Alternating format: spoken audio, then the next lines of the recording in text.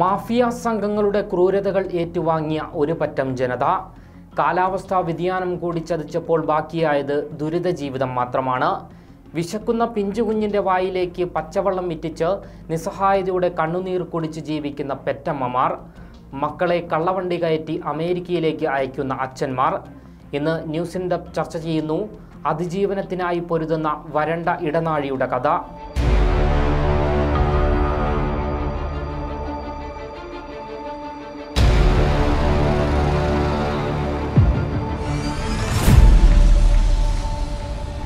കഴിഞ്ഞ ദിവസം മാധ്യമങ്ങളിൽ തലക്കെട്ടുകൾ സൃഷ്ടിച്ച ഒരു വാർത്തയായിരുന്നു. അമേരിക്കയിലേക്ക് ഒളിച്ചു കടക്കാനെത്തിയ ഒരു ബാലനെ അമേരിക്കൻ അതിർത്തി പോലീസ് പിടിച്ച കഥ. അനധികൃത കുടിയേറ്റത്തിനെത്തിയ സംഘത്തിലെ മറ്റംഗങ്ങൾ ഉപേക്ഷിച്ചു പോയതോടെ രാത്രി മുഴുവൻ ഒറ്റയ്ക്ക് കഴിയേണ്ടി വന്ന ബാലൻ അതിർത്തി രക്ഷാ സൈനികരെ അഭയം പ്രാപിക്കുകയായിരുന്നു. ഇത്തരത്തിൽ നിരവധി ബാലികാ ബാലകന്മാരാണ് നിത്യവും അമേരിക്കയിലേക്ക് കടക്കാൻ എത്തുന്നത്. പട്ടുമാളികയിലെ ജീവിതം സ്വപ്നം കണ്ടെത്തുന്നവരല്ല ഇവർ. കുഞ്ഞുങ്ങളെങ്കിലും പട്ടിണിയാകാതിരിക്കട്ടെ എന്ന ആഗ്രഹത്തിൽ മാതാപിതാക്കൾ നാട് കടത്തുന്നവരാണ്. അതിജീവനത്തിനായി പൊരുതുന്ന മധ്യ അമേരിക്കയിലെ വരണ്ട ഇടനാഴി എന്നറിയപ്പെടുന്ന ഗോട്ടിമാല എൽസാൽവഡോർ ഹോണ്ടൂറസ് കോസ്റ്റാറിക്ക തുടങ്ങിയ രാജ്യങ്ങളിൽ നിന്നും നിരവധി പേരാണ് ഇത്തരത്തിൽ പലായനം ചെയ്യുന്നത്. ഒരു കാലത്ത് ഇവിടെ നിന്നും അമേരിക്കയിലേക്കും മറ്റും ജനങ്ങൾ കടന്നിരുന്നത് ഇവിടുത്തെ മാഫിയ സംഘങ്ങളുടെ ആക്രമണം ഭയന്നായിരുന്നു. ഇങ്ങനെ കടന്നെത്തിയവരെ കുറ്റവാളികളുടെ ഗോത്രാംഗങ്ങളായിരുന്നു അമേരിക്കയിൽ കണക്കാക്കിയിരുന്നതും. അവരുടെ അക്രമാസക്തമായ സംസ്കാരം അമേരിക്കയിലേക്ക് കടത്തിക്കൊണ്ടുവന്നു എന്ന പഴിയും അവർ കേട്ടിരുന്നു. എന്നാൽ ഇന്ന് അത്തരത്തിൽ ആളുകൾ എത്തുന്നത് അക്രമം ഭയന്നല്ല ഒരു നാഴി അരിക്ക് വേണ്ടിയാണ്. ഒരു നേരത്തെ വിശപ്പെങ്കിലും ശമിപ്പിക്കുവാനാണ്. അഭിശബ്ദ ഭൂമികയായി മാറിയ വരണ്ട ഇടനാഴിയിൽ ഇന്ന് വിശന്നു വലയുന്ന മനുഷ്യൻ ഒരു അപൂർവ കാഴ്ചയല്ലാതെ ആയിരിക്കുന്നു.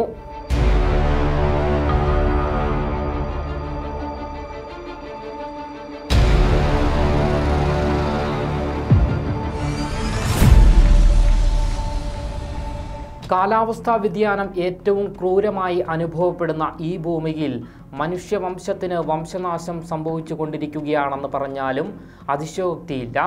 ഈ പർവത മേഖലയിൽ പ്രകൃതിയുടെ വികൃതി അത്തരത്തിലുള്ളതാണ്. മഴ പെയ്യേണ്ട സമയത്ത് കടുത്ത വരൾച്ച അനുഭവപ്പെടുന്നു. കടുത്ത ചൂട് അനുഭവപ്പെടേണ്ട സമയത്തും കൊടും തണുപ്പും കാലാവസ്ഥാ വ്യതിയാനങ്ങളെ അതിജീവിച്ച് എന്തെങ്കിലും കൃഷി ചെയ്താൽ വിളവെടുപ്പിന് മുൻപ് കൊടുങ്കാറ്റും മഴയുമെത്തും ആയിരത്തി തൊള്ളായിരത്തി തൊണ്ണൂറിന് ശേഷമുള്ള ഇരുപത്തിനാല് വർഷക്കാലയളവിൽ അതിനു മുൻപുള്ള ഇരുപത്തിനാല് വർഷത്തിൽ ഉണ്ടായതിന്റെ പന്ത്രണ്ട് ഇരട്ടി കൊടുങ്കാറ്റുകളാണ് ഇവിടെ ഉണ്ടായത്. ആയിരക്കണക്കിന് ആളുകൾ ഇവിടം ഉപേക്ഷിച്ച് പലായനം ചെയ്തു കഴിഞ്ഞു. അവശേഷിക്കുന്നവർ ആസന്ന മരണവും പ്രതീക്ഷിച്ച് പുതിയ തലമുറയെ ലഭ്യമായ അല്പം ആഹാരം ഊട്ടി വളർത്തുന്നു. പോഷകക്കുറവ് മൂലം ജനിക്കുന്ന കുഞ്ഞുങ്ങളൊക്കെ സാധാരണയിലും ഭാരം കുറഞ്ഞവർ. മാത്രമല്ല ജന്മന പല രോഗങ്ങൾക്കും വൈകല്യങ്ങൾക്കും അടിമപ്പെട്ടവർ. ഭക്ഷണത്തിന്റെ ദൗർബല്യതയും ഒപ്പം മലിനീകരിക്കപ്പെട്ട ജലവും ഇവർക്ക് മരണം ഉറപ്പാക്കുന്നു. റെയ്മുണ്ട എന്ന ഇരുപത്തിനാലുകാരി തന്റെ നാല് മക്കളുമായി ജീവിക്കുന്നത് എങ്ങനെയോ കാലാവസ്ഥയോട് പൊരുതി വിളയിച്ചെടുത്ത അല്പം ബീൻസിലാണ്. അല്പാൽപമായി കഴിച്ചാൽ രണ്ട് വർഷം ഇതുകൊണ്ട് കഴിച്ചുകൂട്ടാമെന്നാണ് അവർ പറയുന്നത്. കുട്ടികൾ രോഗബാധിതരായതോടെ പണം കണ്ടെത്താൻ ദൂരെ കാപ്പിത്തോട്ടത്തിൽ ജോലി തേടിപ്പോയ ഭർത്താവിന്റെ യാതൊരു വിവരവുമില്ല. രാത്രി സാധാരണയായി കുട്ടികളെ നേരത്തെ കിടത്തിയുറക്കും. അപ്പോൾ അവർക്ക് വിശപ്പറിയില്ലല്ലോ. ഉറക്കത്തിനിടയിൽ വിശന്ന് നിലവിളിച്ചാൽ അല്പാൽപമായി വെള്ളം വായിലേക്ക് ഇറ്റിച്ചു കൊടുക്കും. അത്യാവശ്യ സാധനങ്ങൾ വാങ്ങാനുള്ള പണം പോലും കയ്യിലില്ല. പണം നേടാൻ ഒരു ജോലിക്ക് അവസരവുമില്ല. വിശന്നു കരയുന്ന കുഞ്ഞുങ്ങളെ പാടിയുറക്കി സ്വന്തം വിശപ്പിനെ നോക്കി നിർവികാരിയായി ഇരിക്കാൻ മാത്രമാണ് ഇന്ന് ഇവിടെയുള്ള മിക്ക അമ്മമാർക്കും കഴിയുന്നുള്ളൂ. ഗ്വാട്ടിമാല എൽസാൽവഡോർ ഹോണ്ടുറസ് തുടങ്ങിയ രാജ്യങ്ങളിൽ കഴിഞ്ഞ രണ്ട് വർഷത്തിനുള്ളിൽ അതിന് മുൻപത്തെ വർഷങ്ങളേതിനേക്കാൾ നാലിരട്ടിയോളം ജനങ്ങളാണ് പട്ടിണിയിലേക്ക് വലിച്ചിഴക്കപ്പെട്ടതെന്നാണ് ഐക്യരാഷ്ട്രസഭയുടെ കണക്കുകൾ പറയുന്നത്. രണ്ടായിരത്തി പതിനെട്ടിൽ ഈ മൂന്ന് രാജ്യങ്ങളിലും കൂടി രണ്ട് ദശാംശം രണ്ട് ദശലക്ഷം പേർ പട്ടിണിക്കാരായി ഉണ്ടായിരുന്നപ്പോൾ നിലവിലത് എട്ട് ദശലക്ഷമാണ്. കാലാവസ്ഥാ വ്യതിയാനം വരുത്തിയ ദുരന്തമെന്ന കൂനിന്മേൽ കുരുവായി കോവിഡ് കൊണ്ടുവന്ന സാമ്പത്തിക പ്രതിസന്ധിയും കൂടിയായപ്പോൾ അവസാന പ്രതീക്ഷയും അറ്റിരിക്കുകയാണ് ഈ വരണ്ട ഇടനാഴിയിൽ. സാഹചര്യം കൂടുതൽ മോശമാവുകയേ ഉള്ളൂ എന്നാണ് കാലാവസ്ഥാ നിരീക്ഷകരുടെ പ്രവചനം.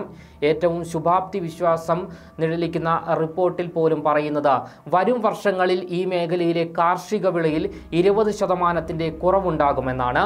സ്വന്തമായി വീടുള്ളവർ വളരെ കുറവാണ് ഈ മേഖലയിൽ. കാർഷിക വൃത്തി ഇല്ലാതായതോടെ വാടക നൽകാൻ ഇല്ലാതെ പലരും മൺകുടിലുകളിലേക്ക് താമസം മാറ്റിയിരിക്കുന്നു. ഒറ്റമുറിയുള്ള മൺകുടിലിൽ രണ്ടും മൂന്നും കുടുംബങ്ങൾ ഒരുമിച്ച് താമസിക്കുന്ന സ്ഥിതിവിശേഷവുമുണ്ട്.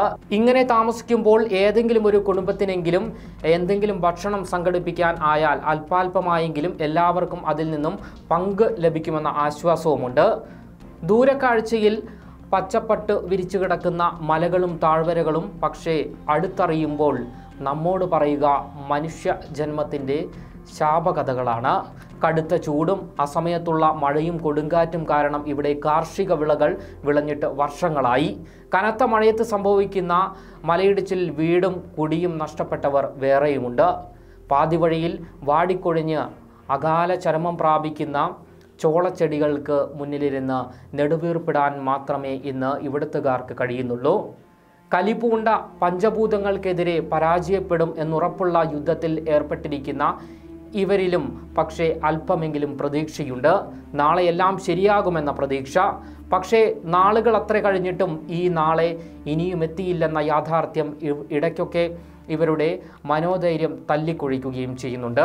അത്തരം അവസരങ്ങളിലാണ് ഈ ശാപഗ്രസ്തയായ ഭൂമിയിലേക്ക് ജന്മം നൽകിവിട്ട കുഞ്ഞുങ്ങളെങ്കിലും പട്ടിണി കിടക്കാതിരിക്കാൻ കള്ളവണ്ടി കയറ്റി അയക്കുന്നത്. അതിർത്തിയിൽ പിടിക്കപ്പെട്ട് ജയിലിൽ ആയാലും അവർക്ക് ഭക്ഷണം കിട്ടുമല്ലോ എന്നാണ് ഈ മാതാപിതാക്കൾ കരുതുന്നത്. ഇവിടുത്തെ മിക്ക ഗ്രാമങ്ങളിലും ഇന്ന് പുരുഷന്മാർ ഇല്ല എന്നതാണ് മറ്റൊരു പ്രത്യേകത എന്ന് പറയുന്നത്. പുരുഷന്മാർ പലരും മറ്റു പട്ടണങ്ങളിലോ ദൂരത്തെയുള്ള തോട്ടങ്ങളിലോ പണി തേടി പോയിരിക്കുകയാണ്. ഇല്ലെങ്കിൽ ഇരുളിന്റെ മറവ് പിടിച്ച് അമേരിക്ക എന്ന സ്വർഗത്തിലെത്താനുള്ള യാത്രയിലുമാണ്. എന്നെങ്കിലും തിരിച്ചു വരാനായാൽ അന്ന് ഉറ്റവരുടെ വിശപ്പ് മാറ്റാം എന്ന സ്വപ്നം കണ്ടാണ് ഇവർ ഈ യാത്ര നടത്തുന്നത്. കുടിയേറ്റത്തിനെതിരെ നിയമങ്ങളും നിയന്ത്രണങ്ങളും കൊണ്ടുവരുമ്പോഴും അതിന്റെ മറുഭാഗത്ത് ഇങ്ങനെയും ചില മനുഷ്യർ ഉണ്ടെന്നുള്ളത് ഓർക്കേണ്ട കാര്യം കൂടിയാണ്.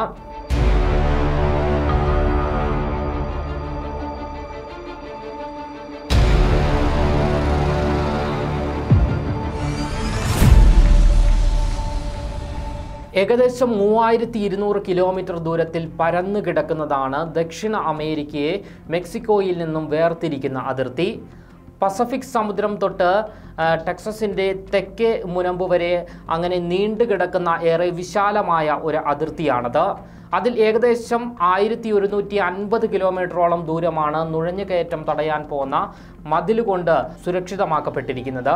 അമേരിക്ക ലക്ഷ്യമാക്കി മെക്സിക്കോ ഗ്വാട്ടിമാല ഹോണ്ടുറാസ് തുടങ്ങിയ അവികസിത രാജ്യങ്ങളിൽ നിന്നും കാൽനടയായി പുറപ്പെടുന്ന അനധികൃത കുടിയേറ്റക്കാർ നേരത്തെ പറഞ്ഞ കുടിയേറ്റക്കാർ എന്നും അമേരിക്കൻ ജനതയ്ക്ക് ഒരു വെല്ലുവിളി തന്നെയായിരുന്നു. വെല്ലുവിളി തന്നെയാണ് നിലവിൽ. വർഷാവർഷം ഏകദേശം ഒരു ലക്ഷത്തോളം പേരാണ് ഇങ്ങനെ അമേരിക്കയിലേക്ക് അതിർത്തി കടന്നു വരുന്നതും പിന്നീട് പോലീസിന്റെ കണ്ണുവെട്ടിച്ച് നിയമവിരുദ്ധമായി അമേരിക്കയിൽ തന്നെ തങ്ങുന്നതും. അമേരിക്കൻ പ്രസിഡന്റായിരുന്ന ഡൊണാൾഡ് ട്രംപ് എന്നും ഈ അനധികൃത കുടിയേറ്റത്തിന്റെ അടിവേര് അറക്കണം എന്നുള്ള പക്ഷത്തായിരുന്നു. മെക്സിക്കൻ ബോർഡർ പൂർണമായും അടച്ചുകൊണ്ട് ഇരുപത്തി അഞ്ച് ബില്യൺ ഡോളർ ചെലവിൽ ഒരു മതിൽ പണിയണം എന്നുള്ള അദ്ദേഹത്തിന്റെ ബിൽ കോൺഗ്രസ് നിരസിച്ചിരുന്നു. രാജ്യസുരക്ഷ മുൻനിർത്തിയുള്ള പ്രചരണങ്ങൾക്ക് ആ, കാറ്റുപിടിപ്പിക്കുന്നത് മതിൽ നിർമ്മാണവുമായി ബന്ധപ്പെട്ട് ട്രംപിനെ പിന്തുണച്ചുകൊണ്ട് ഇറാഖിൽ അമേരിക്കൻ സൈനികോദ്യോഗസ്ഥനായി വിരമിച്ച ബ്രയാൽ കോൾഫേജിന്റെ വി ബിൽഡ് ദ വാൾ എന്ന സംഘടന രംഗത്ത് വന്നതോടെയാണ്.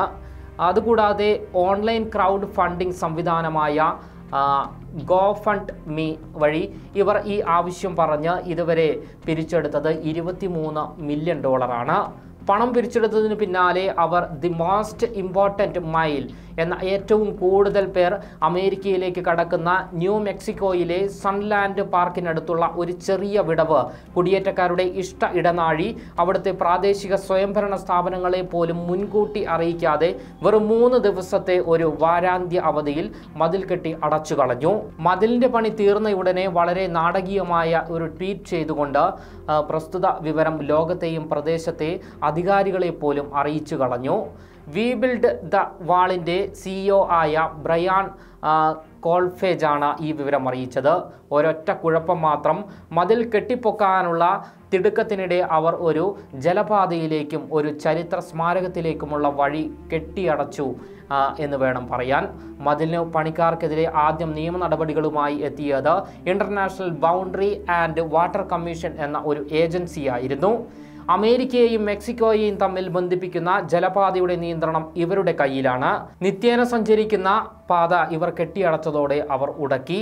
കെട്ടിപ്പൊക്കിയിട്ട് ചോദ്യങ്ങളാവാമെന്നാണ് അവർ കരുതി വെച്ചിരുന്നതെങ്കിൽ തെറ്റി. ഇവിടെ ആ പരിപാടി നടക്കില്ല എന്നാണ് ഐ ബി ഡബ്ല്യു സിയുടെ അന്നത്തെ വക്താവായ ലോറി കുസ്മാൻസി മാധ്യമങ്ങളോട് പറഞ്ഞത്. ഇത്തരത്തിൽ ഒരു പ്രൊജക്റ്റ് നടപ്പിലാക്കാൻ വെറും ആവേശം മാത്രം കൈമുതലായാൽ പോരാ. അതും അമേരിക്ക പോലെ നിരവധി നിയമങ്ങൾ നിലവിലുള്ള ഒരു രാജ്യത്ത് പ്രാദേശിക സർക്കാർ ഏജൻസികൾക്ക് കാര്യമായ അധികാരങ്ങളുണ്ട്.